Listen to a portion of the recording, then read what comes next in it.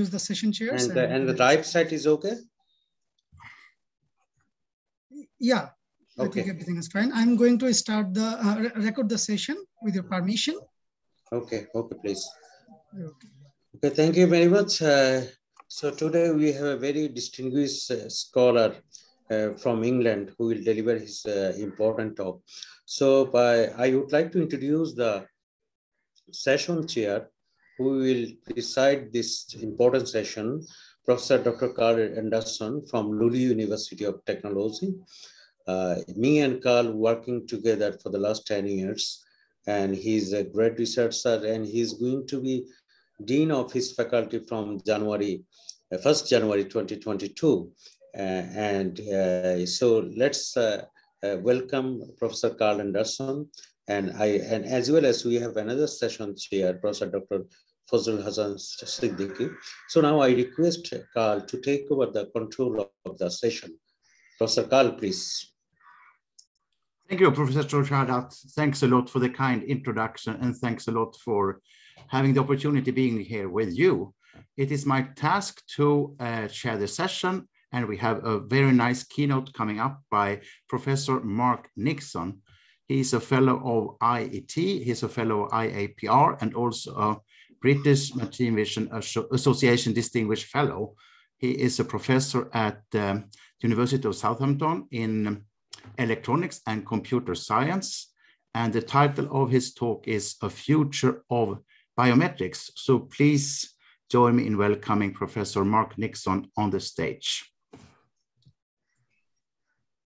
Well, thank you very much for your uh, um, for your kind words, and um, and lovely to be here at um, at uh, at your birthday party for Bangladesh and the founder of Bangladesh.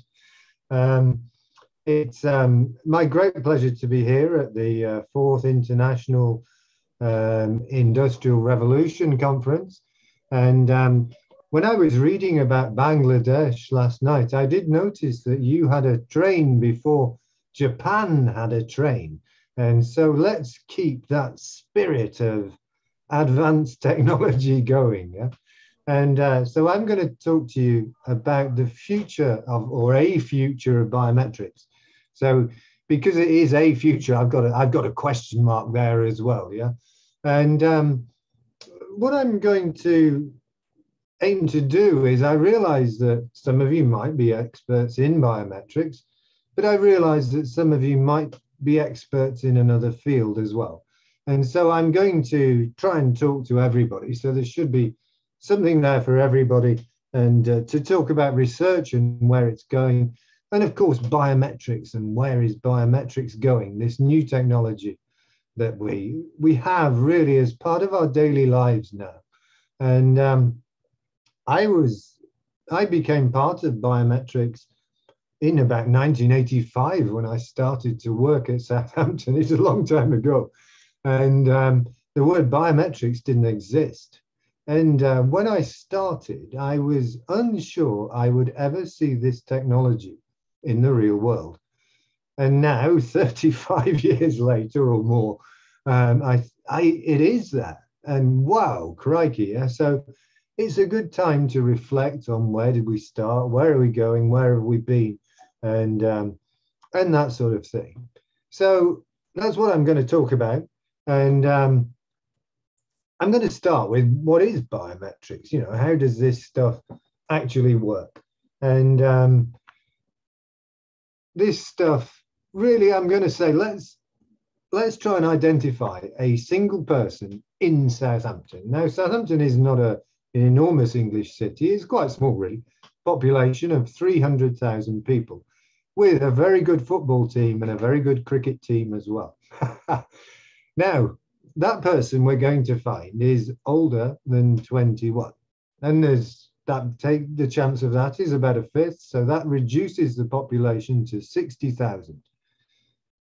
If I take another measurement, that person is male, and half of the people in Southampton are male, so that reduces the population to Southampton to 30,000.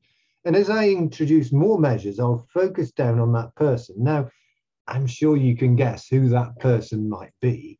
um, because that person is sort of whitish, and uh, that's two thirds of the population. And that person comes from the north of England. And uh, because he's from the north, there's not as many people from the north down in the south, so the chance is quite small. And that focuses the population, the uh, remaining population, a great deal. When that person's taller than average and he's much slimmer than average because he cycles a bike a lot and he has non-manicured or COVID hairstyle. And as you can guess, that person is myself. Now, with seven, just seven measurements, and these measurements are pretty coarse measurements, then we can focus down to that single person. If we had a bigger population, say the population of London, we would need more measurements and they would need to be greater precision. And then we could again focus down to a single person. And that's what biometrics is about. It's about generating measurements which allow us to recognize a single person. And these days, and when I started, as I mentioned, it was a long time ago. I was I was much younger then, and um, the um, the computers we had were probably not as powerful as a modern doorbell, and um, I had the idea that you could recognize people from images of their face, and so uh, I put the faces into my PDP-11 computer over on the right. It had 64 kilobytes of memory. Oh, those were the days. And I took pictures of my secretary and one of my MSc students, and I showed how I could measure the spacing between the eyes for recognizing their face. I mean, it's a long time ago, 1985.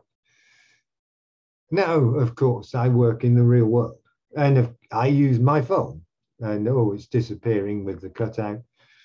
But I use face recognition on my phone all the time to access my phone. I, I used to use a fingerprint before on my older iPhone. In Japan, you use finger vein to access your banking systems. In England, you walk through automatic gates to uh, enter the country. We see biometrics all the time. And I think it's fantastic, really. I'm, I'm one of the luckiest guys around. I've seen a technology mature to affect the whole world uh, from the beginning. And I was there at the beginning when there were 10 people working on face recognition.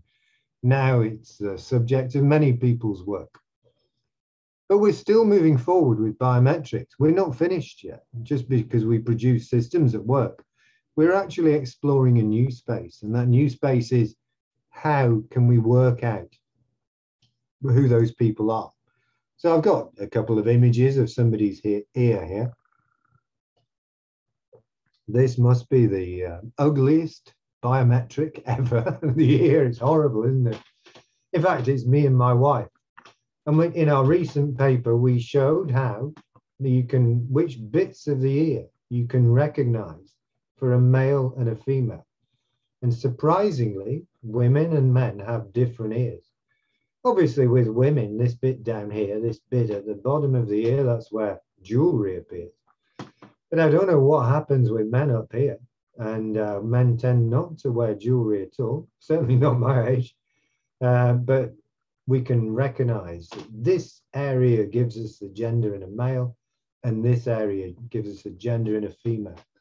And you have gender associated with your fingerprint. You have gender associated with your gait obviously you've got gender associated with your face.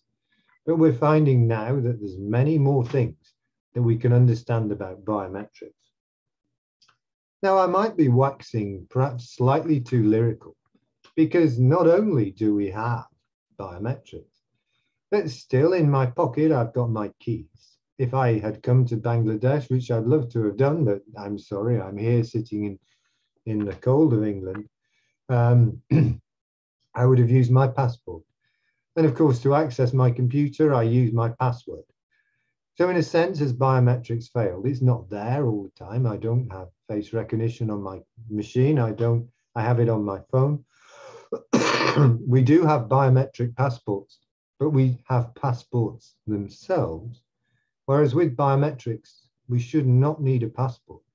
You and your body, your face, your hand, your fingerprint. That is you. That is personally you. And that should let you in. Now, biometrics is about people. So it's always in the news. And uh, every time I give a talk, I can just go into the news and pick stuff out because people are interested in this. Because we're all unique. We know we are. We're people. We're humans. And the other thing is that identification is central to our lifestyle. We have to always know who we are, perhaps for security, but also for access to various things. and we want that um, we want that to be fast and convenient. We want it to be secure. Sorry, I've suddenly just got a frog in my throat. and we want to use it everywhere we can. now, when we ask, where is this technology going? Excuse me. the question is, are you in industry or are you an academic? And um, in industry or in um, government, you want to know how things work. In academia, we want to take things forward.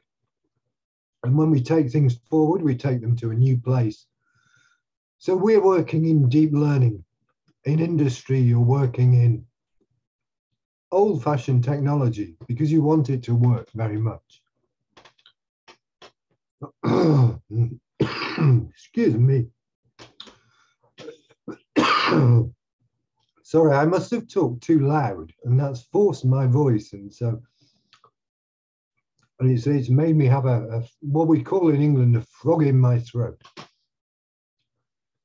Now, when you look at your own vision, the question is, how much can you believe it? This is a picture of King Charles in England. He was a king who we, we cut his head off. And when we cut his head off, because he was a very bad king, he was also very vain. And he looks quite normal here. He looks big when he's in Charing Cross.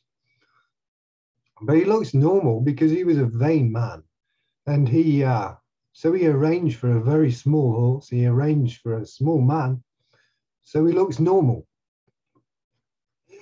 and that deceives us. We think he's uh, a much bigger man than he is. Now look at this. Look at this cross in the center of the picture. Look at this cross. This will make you disbelieve your human vision. Look at that cross. Keep staring at the cross. Now, what happens? It's surprising, isn't it? The um, those, those dots turn green um, before they turn and before they disappear. Now, in fact, they um, they're just static. There's just we're just removing one dot at a time, so they appear to move. but when they appear to move, they appear to disappear. So your human vision can be tricked. I can make it things disappear. I can make things change color. It's amazing how you can fool computer, human vision. So let's see how good is your computer, your human vision. Now I just want to um, see the chat screen here because I'm going to ask you ask you a question, yeah. And um, let me uh, see it here. Uh, chat, good. is that ear? Put your hands up in the chat or, oh, there's some people in the lecture theatre. Oh, if I had a picture of you, I would be asking you to wave your hands, yeah? Um, is that a man or a woman? Now, put your hand up if you think it's a man. Anybody's hand going up? No, no. How about a hand up if you think it's a woman? Yes, there's some hands going up. Very good. It's a woman, yeah, because there's an earring here. That's Sophia Loren. Very beautiful. Long time ago. Now this ear here, let's go for a slightly harder one, yeah? no earring now. Is that a man or a woman?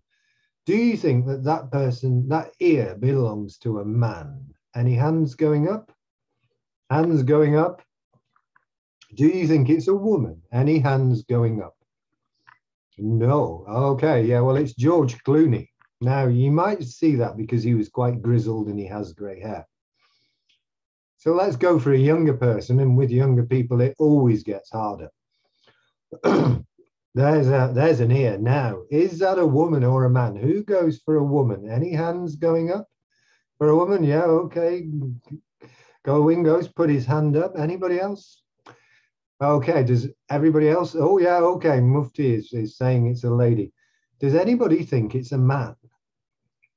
Anybody going to vote for a man? I should have prizes here. If I was in a lectures here to the lectures here to with you, I'd perhaps give you prizes. Well, well done to the two who who guessed. That is Emma Watson's ear.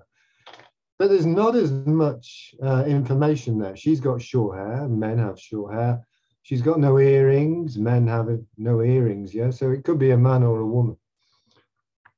But I bet none of you looked at this bit of the ear for a woman and this bit of the ear for a man, because I didn't either. I know exactly that's where gender is concealed, but I don't really know what I'm looking at. And biometrics tells us what we're looking at. And biometrics reveals which bit of your fingerprint is unique. And um, it's amazing, isn't it? That there's bits of you that are unique by different measures. Now, there's also your ear tells you how old you are. With George Clooney, you can see these bits here. You can't see it as much with these two because they're younger. But people's ears are the same. The father and son have similar features. Mother and daughter have similar features it's amazing that your ear actually encodes a great deal about your identity. this part of the human face that you never look at, sorry, the human head, you never look at it all, actually has a lot more information. And it's partly a question of training. Um, human performance is not uniform. Normally, we're in the middle. It's a Gaussian curve, hence the normal distribution. And when you look at face recognition, some people can't recognize even their own mother, that's prosopagnosia. On the other end, there are super recognizers, and they can recognize anybody anywhere. Incredible performance. But we're all in the middle. And uh, but you can train to improve your performance, and that's part part of what we're seeing with biometrics. And in India, they have an enormous uh, rollout of biometrics, enrolling the whole population of one of the largest populations in the world, and everybody's got it for access to money and social security. It's fantastic stuff. So we're seeing biometrics coming around. so the question is then standards. You know, we watch, well, I watch the cricket and I watch England not doing very well today. And we use Hawkeye. And Hawkeye tells us, was that man leg before wicket? But there's no performance evaluation of Hawkeye that we see, which is quite surprising. We really want somebody to take a cricket ground and put some stumps in the cricket ground and show us that that ball is really hitting the stump. And that's the same with biometrics. So people at NIST, that's the American Standards Institution, took a load of biometric algorithms and they applied them in a scenario which was just like um, a you see as you walk in through an airport. So they just took a load of people and pretended they were in an airport. And the question was, how well does this stuff do? And they took a load of algorithms. You can see they're all anonymous because you would lose confidence in the manufacturer if you did. And look at the range of performance. The best performance is zero. So one performance got to 0.081. The worst performance is 1.0. And quite a few hit that 1.0, which is very poor. So there is a lot of debate, and that's partly why it's in the news. Uh, because the question is, how well is this stuff actually doing? And there's a long history of spoofing biometrics. It's called presentation attack de detection.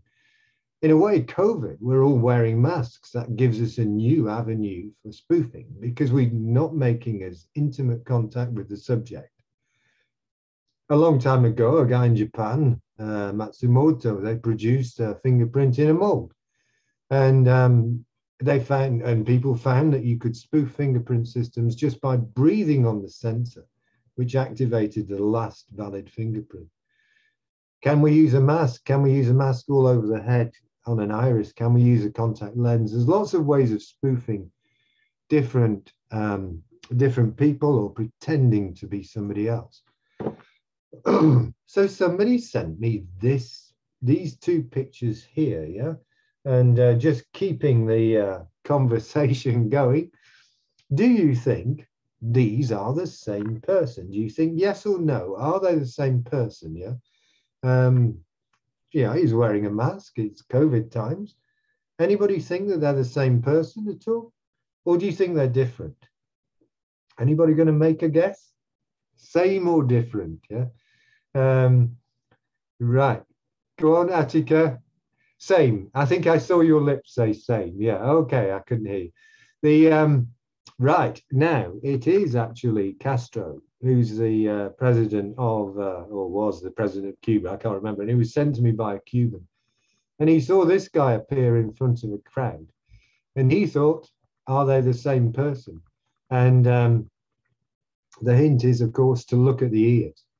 And when we look at the ears, this person who appeared before the crowd, claiming the identity of the president of Cuba, we don't think he's the same guy because there are some very marked features on his ears which are not present in this guy here. We would actually need more ear, more pictures of this guy to be more sure. But there are some features we were quite surprised by. Um, that uh, there's a Darwin's tubercle, which is a, a particular feature of your ear, uh, which this guy hasn't got yet. So it's a bit of a giveaway. Anyway, it's quite interesting, isn't it? Because he thought he would put a mask over his face and he could pretend to be somebody else. But yet there's a biometrics guy who looks at um, the picture and says, "Oh, actually, you haven't noticed that you've you've left your ear there," and I don't think you're the same guy. Um, right. So, in um, there was a particularly nasty murder um, I think it was committed by some Israelis uh, of some guy, and they pretended to be other. They stole the identity of these people. Uh, they pretended to be somebody else. And we thought that was a good thing for biometrics. And not only did they just um, try and spoil the system, they actually tried to take the identity of somebody else and uh, it was actually not inspired by that at all. That's just the academic talking. That's when we write our papers. We just noticed that Kevin Bowyer, who's a very a friend of mine, who's a very big name in biometrics, we just Kevin noticed. gave a keynote today. Oh, did he? Yeah, Well, we noticed- mentioned about you as well. we noticed that Kevin appears in all the biometrics databases. So if you want to pretend to be somebody else, all you have to do is to pretend to be Kevin, and then you'll be allowed into any biometric system because they've all been evaluated on images of Kevin. Isn't that funny? He's, he's also talked today. so we called it targeting. And we find Rama Chellappa is a big name in biometrics too. We found there are people who are similar and you can pretend to be somebody else.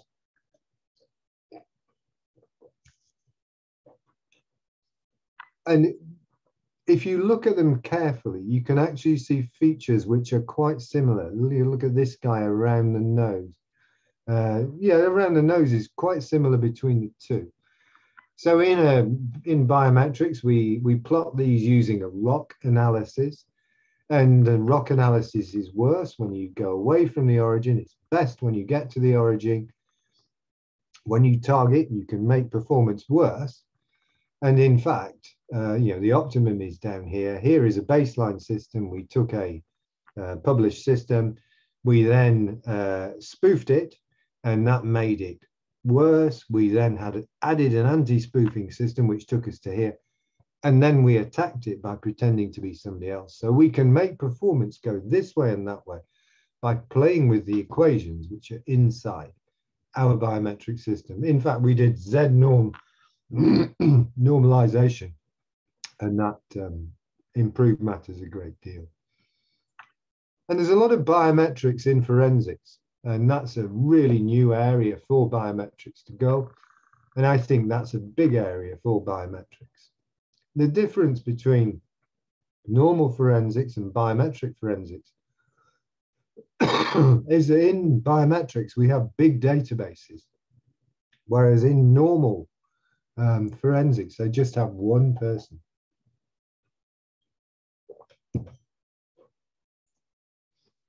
So Anil Jain wrote a paper about can biometrics aid forensics, and he showed convincingly how they do.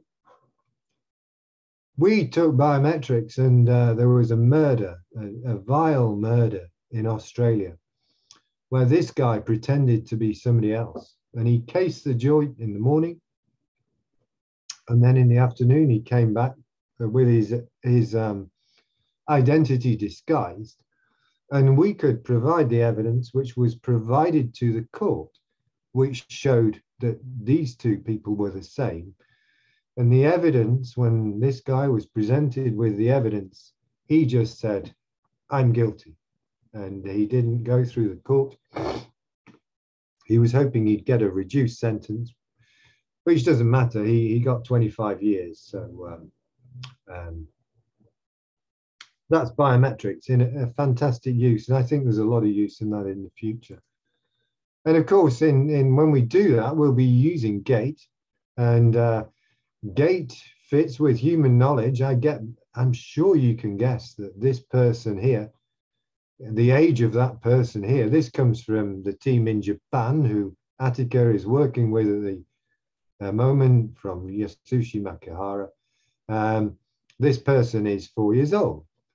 And when you see another person, um, this this chap here, he's a bit older, but he's Japanese, and in Japan they live a long time, and um, so that person, many people would guess it's 72, but that person is actually 82 years old.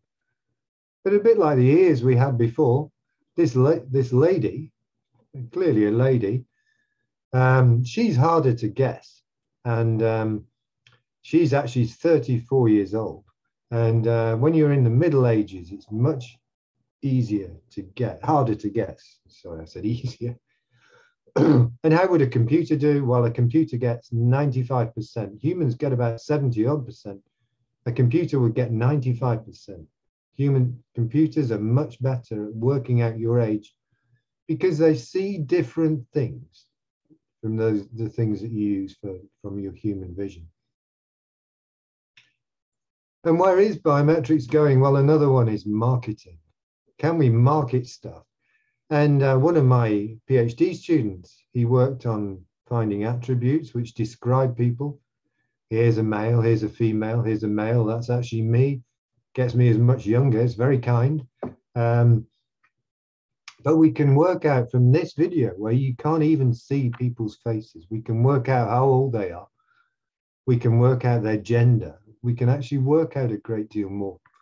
And we can actually recognize you from that video using these uh, descriptions. And he got a PhD, he his PhD, he wanted to sell it for forensics use, and he ended up selling it in marketing. He's got a startup and he's using biometrics in marketing, um, which is great. You know, the um, there was a load of marketing where they recognize you as you walk in Piccadilly Circus. But that, of course, affects your privacy as well. So people um, are worried about biometrics, and we have to share that concern with privacy as well. The um, what is the future? You know, is it um, old-fashioned uh, pattern recognition, or is it deep? That's newer. Should we just take the most popular biometrics, face, iris, and fingerprint, and make them better? Or should we use different bits of the human body? That debate is ongoing in biometrics. Should we just use one modality or should we just stick them together? These things alone allow you to achieve recognition. Why don't we fuse them? And there's a lot of biometrics fusion. And also we do as humans, and I'll mention this in a second. I've only got a couple of minutes, so I'm going to zoom through my last slide. Um, is it semantic? That's human, yeah. But there's also behavior and movement, yeah. But then there's a question of whether things work or fail and how they work or fail. And of course, will it be driven by application or will it be driven by um, commercial needs?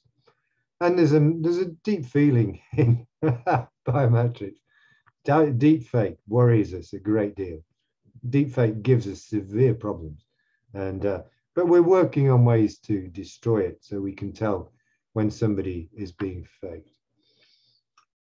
So I'm going to spend just one minute really on the last bit, which is using human descriptions to recognize you from really adverse video like this. And we decided that we couldn't use gait. We clearly can't use face. We can't use gait because there weren't enough frames. So we just used human descriptions. And this is the newest work that we've done. We have eyewitness statements and images and we learn the relationship between the eyewitnesses statements and the images. And we learn them using deep learning. So we take a database of images, we have a set of labels, we crowdsource the process and we rank them. That's in um, computer science. Then we use deep learning to learn the label structure. Having learned the label structure, we then do recognition. But having done recognition, we can then generate new labels. So we biometrics has moved to a semantic space now, and we can recognize you from human descriptions. So I'm going to just zoom through this and not describe it at all. Um, it's described in the top journal in computer vision or top journal in computer science, TPAMI, 2019 you can do this human description. You can do it on the body, you can do it on the face, you can do it on the clothing as well. And of course, the, one of the futures of biometrics is fusion. So we fuse the head, the body, and the clothing. And hopefully, we put this guy in jail because this girl was never seen again. This picture was taken the day she was abducted. Presumably, she was murdered this guy is probably still walking around. And if we can put him away, well, I think that's a great use of biometrics. So we've shown how we can do it with these human labels, and we do it at different distances, close, medium, and far. When things are far away, when things are close, we use a face. When things are far away, we use the clothing. In between, we use everything else. So there's lots of limits of knowledge I've mentioned here. You know, gender, we can get a lot more from the biometrics. We can get more than you expect from images of different parts of your body. You can even work out who somebody's going to vote for. Um, there's a lot to go. And I think there's a, there's a rich future for biometrics, even if we now have biometric systems which affect everybody around. so biometrics might be a solved problem. I think it's not a solved problem. Can we replicate human vision? I'm not sure. Human vision can easily be fooled. We don't want to fool biometrics. There's always going to be concerns on performance and privacy because this is identifying you. And we want to help crime, to solve crime, but in future we'll look at medicine too. I think a lot of the future is a question of identity science because we've shown that we can look at these images and reveal more than you expect. And any of the results I've shown, of course, are not mine. They're, they come from my students and uh, they, they do all the work. I'm just the boss. And of course, you can read about some of this in my books. So with apologies that um, I forced my voice too much and then made me cough, uh, thank you very much.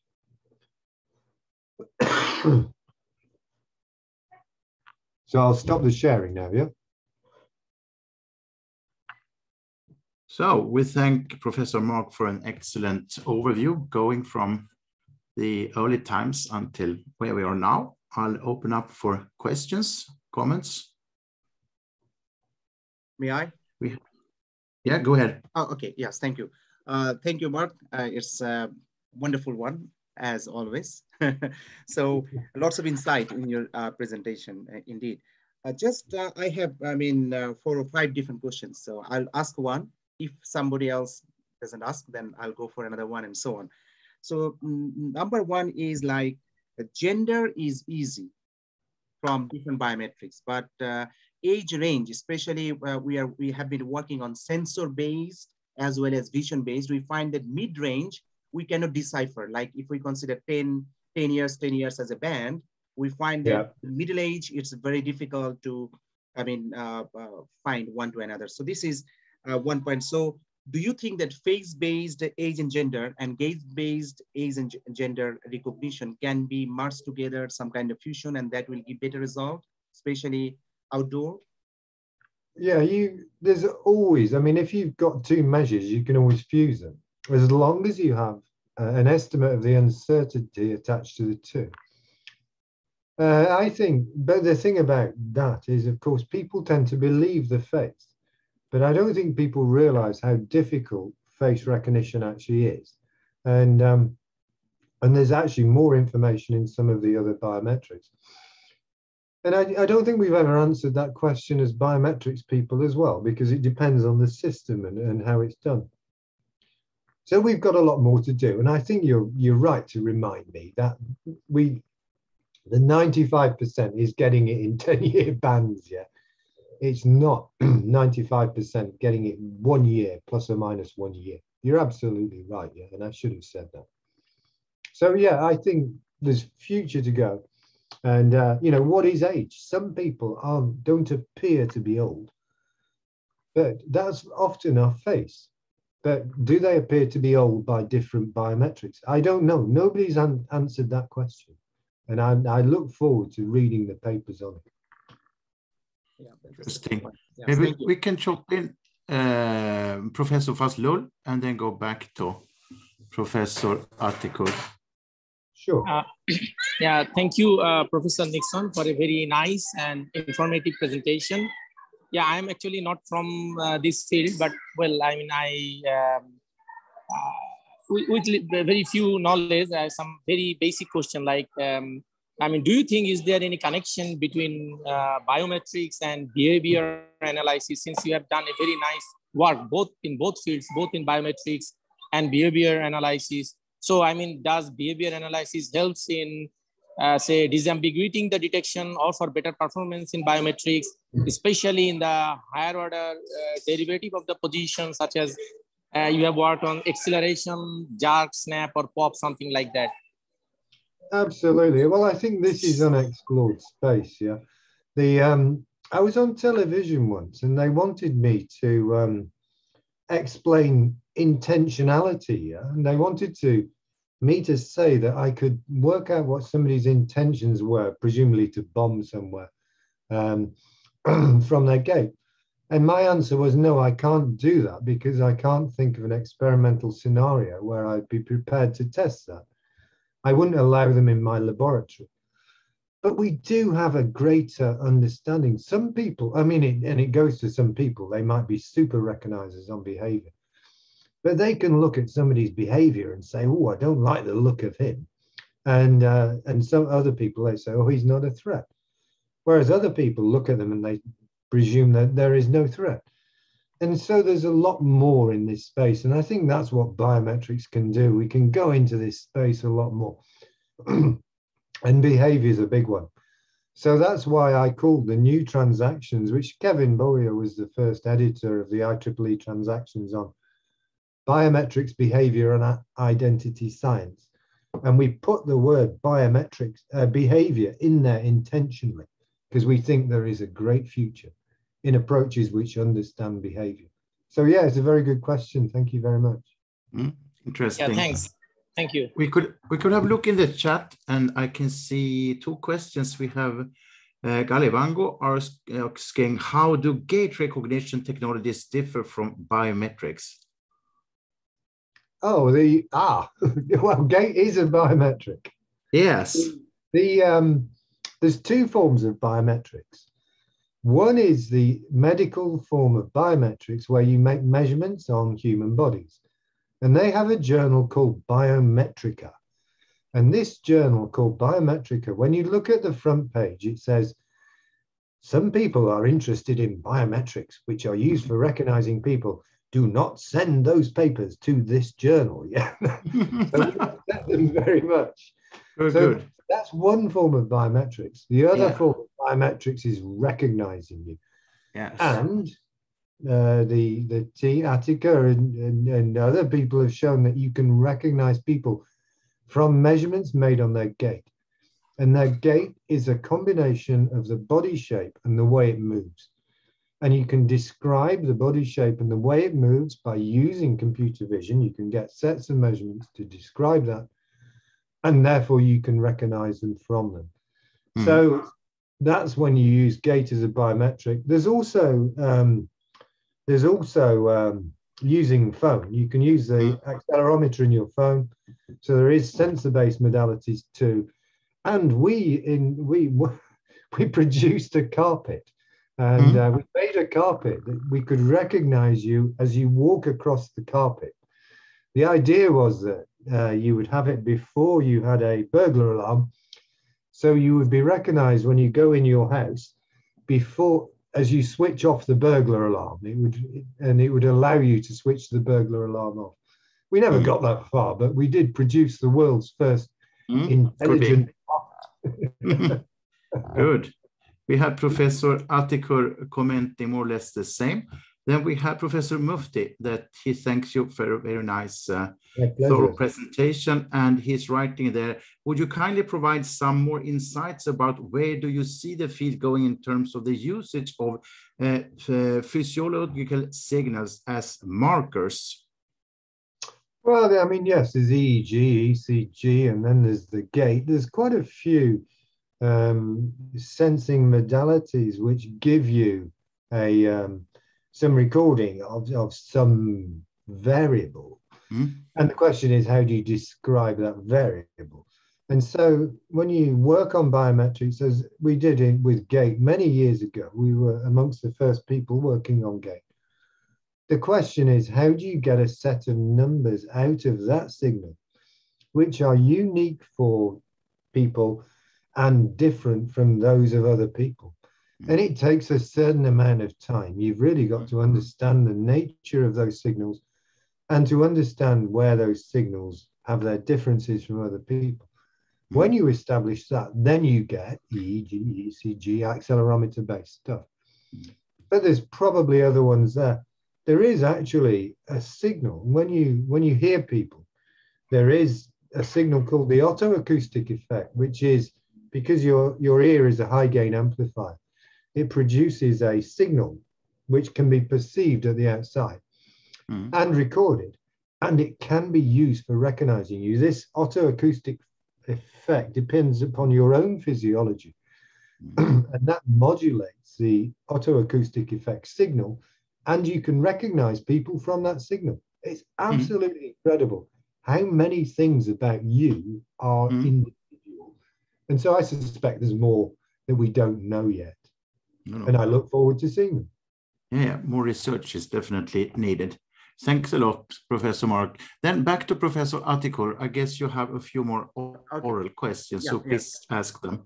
Uh, thank you very much. I mean, uh, Mark, I mean, you know that uh, mm, abnormal gait-based healthcare applications for some disease detection, rehabilitation cases, uh, there are few, uh, not that much progress. So do you think that, I mean, um, gait-based um, healthcare applications should be explored more? Do you feel that, I mean, there are lots of scopes based on your experience? Because I think- yeah. I think there is, yeah. I mean, the thing with medical stuff is you've got to get enough data. Yeah, but when you do a proof of concept stuff in medical studies, you can do a proof of concept stuff with 100 people, a much smaller database and is acceptable now in biometrics. And but there are many conditions which are revealed. I mean, there are conditions revealed by your gait. There are con- conditions revealed by your face. But there's other things about your face which are known to be a myth. And, um, you know, is it liver spots and are known to be a myth? Um, so we've really got to explore these and show which ones work and which ones don't. And, uh, you know, there is a lot of interest in health naturally. So we can explore that space. But up to now, we've really been showing that these systems can work. And having shown that these systems can work, and we have systems which these phones are used in what a third of the population of the world. If that's working, where do we go next? And I think medical is one of the ones we can go to. Good. Any more questions from your side, yeah. Professor Atikur? Yeah, yes, thank you. Uh, actually, we have one work, uh, gait-based, abnormal gait-based. I mean, and uh, we used one of the data sets uh, from Soton, I mean, from your university. So we published at the MBC, I mean, a couple of years back. So my last mm -hmm. question probably, or maybe more later, that what are the, um, I mean, most important first one, two, three areas of research regarding biometrics you think uh, the new researchers should uh, explore? I mean, uh, oh, oh, oh. Yeah. now that's oh, I I'd be a hostage to fortune there. I am just one people. There are other people with other ideas. Yeah, and um, some people believe that you should take the biometrics we have and make them work better. Some people believe that you should just combine them together. Some people believe that you should apply them in different places. Some people believe that you should explore them in greater depth. And some people believe there are new biometrics. Take one of those as an answer. But I'm not going to say which one. yeah. For example, I mean, uh, for example, knuckle. So finger knuckles are explored, but I really don't know that. I mean, whether this kind of uh, new, new ideas uh, will be that much helpful for example, uh, in our lab, we are working on that single frame based uh, mm, uh, age and gender estimation and so on. And when one of my, I mean, students or researchers are working on that, we find that, I mean, the false error is huge. so why do we need basically for one frame or two frames, this kind of thing? So so sometimes we feel that, I mean, for research purposes, people are exploring, but not the clear focus on which has a brighter future. Definitely it's a challenge always, but uh, this is just my I mean, point. So you gave some good uh, three points. So definitely that would be, mm. yeah, thank you very well, much. Yeah. From personal experience, when we started the work on gait recognition, half the people in the room would say, that's a stupid idea. Yeah. I can change the way I walk just by putting a pebble in the shoe. Whereas the other half of the room would say, That's fantastic. I didn't know I had a unique walking style. The answer to the people who said I could put a pebble in my shoe is that when you do, you can put a pebble in your shoe, but there's a lot of stuff you haven't changed. You haven't changed your body shape, so we can still recognize it. But it's just interesting that there was this debate is this stuff good? So what I found was I found eight quotes in Shakespeare um, where Shakespeare recognized you by the way you walk. And that, that stopped people asking those sorts of questions, yeah, because I'm just a university professor, yeah. And, um, but people believe Shakespeare, and Shakespeare was a very clever guy. And so if Shakespeare said you can recognize somebody by the way you walk, then it must be true. And um, so perhaps the answer to that is find a, a quote in Shakespeare. no, no, you know what I mean. It, but it, takes time for people to accept it, yeah. And that means you have to explore it. You have to have bigger databases, uh, blah blah blah, and and that's what research is about. Is you you take an idea, and you have to explore everything. It's not worth just writing one conference paper. You have to explore everything. What happens with time? What happens with clothing? What happens with other people? And then then people start to believe it more and more. And, and so now gait is quite an accepted um, biometric.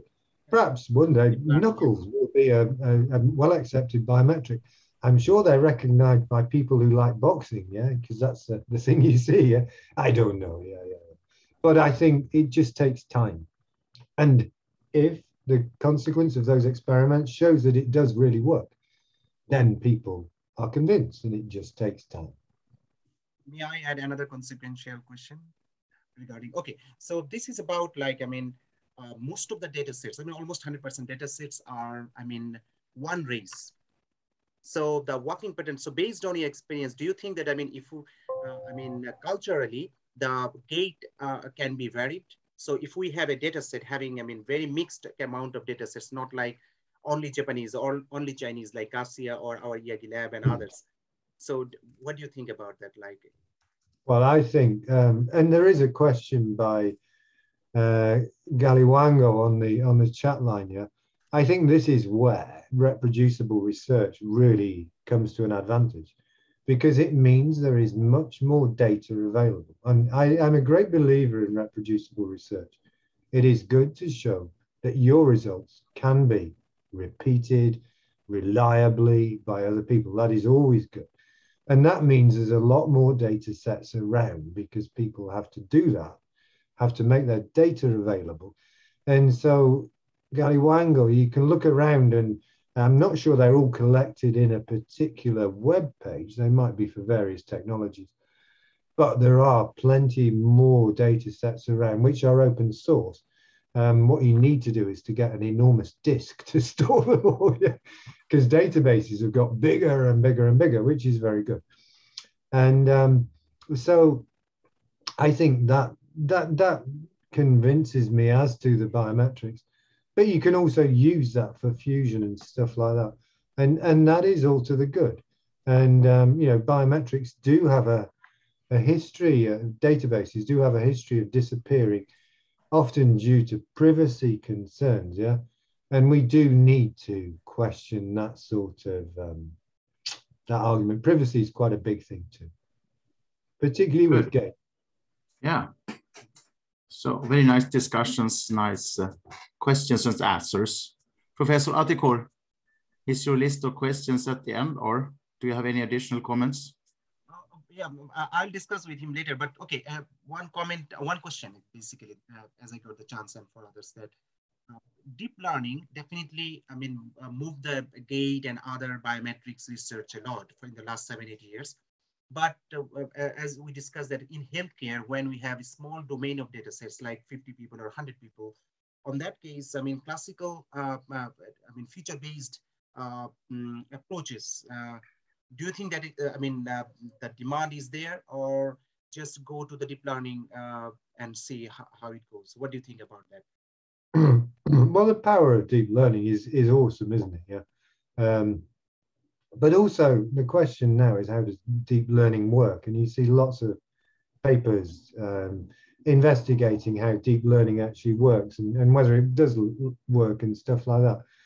Neural networks went through that same uh, evolution 20, 25 years ago, and they were shown to fail. Yeah, so we lost interest in neural networks. I've got a suspicion we won't lose interest in deep learning. But I think deep learning will learn from the handcrafted techniques. There's more refined deep learning approaches that we can have. Um, because a lot of the ways people have made the big databases are just far too simplistic, yeah, just by repeating them, adding noise and stuff like that, GANs and stuff like that. So, I mean, it's an open space and, and it's shown enormous progress, yeah. Um, certainly, um, the work we published in TPAMI, um, his work just showed how powerful deep learning could be. And uh, we could take a video where we couldn't see your face, we couldn't see much of you at all, and we could still recognize you by correlating the human descriptions with that video. That's an incredible capability. You know, it's, it's actually crossing the semantic space two ways. And I think there's just more and and there's more for people to show uh, than that. And um, but the, the danger is that the computation is enormous because when I look at the results, you don't even see any error bars except for DeepMind's papers, yeah, and that's because they've got access to the computational power they need. And uh, so it is, yeah, there is big questions about the evaluation, and when they get solved, uh, we'll go even further, even faster. Mm. So thanks a lot for the questions, everybody. And uh, I suggest we have a round of, uh, round, round of applause for Professor Mark for his excellent keynote. Thank you very much.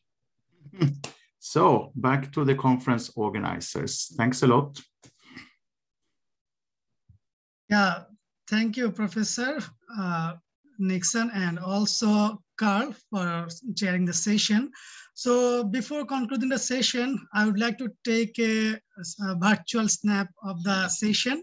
So I would like to request all the participants as well as the session chair uh, to turn on their cameras, please. So if it's possible.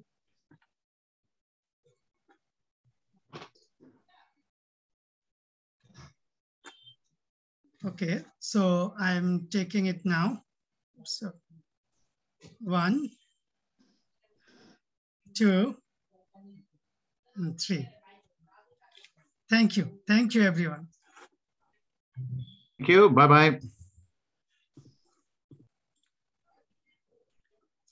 Thanks a lot. Uh, thank you, Mark. Uh, uh, hope to talk, discuss later uh, with you separately again. yeah, I also think uh, Professor Ahad Sensei and Mark has a lot of discussion. Okay, thank you, Mark. Yeah, I'm sorry, I'm not, I'm not there. I'd love to stick with the students and, and chat. Yeah, yeah. I mean, uh, in future, definitely we'll uh, uh, try to have you uh, in person in Bangladesh and you will enjoy. And uh, um, uh, we have IEEE Computer Society, very active, and uh, Shajib Shaha, you can you cannot see he's here, so he's Shajib Shaha.